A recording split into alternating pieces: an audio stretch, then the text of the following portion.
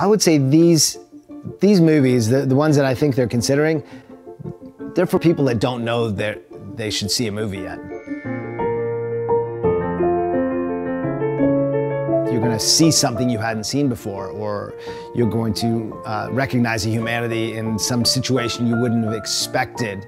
Uh, and and think about it and, and, actually have a discussion with your neighbor, the person sitting next to you, or with the director or the producer or the star. Film is a great way to uh, have a window into what's happening elsewhere and and the opportunities that that are around um, outside of Springfield that you otherwise wouldn't be aware of.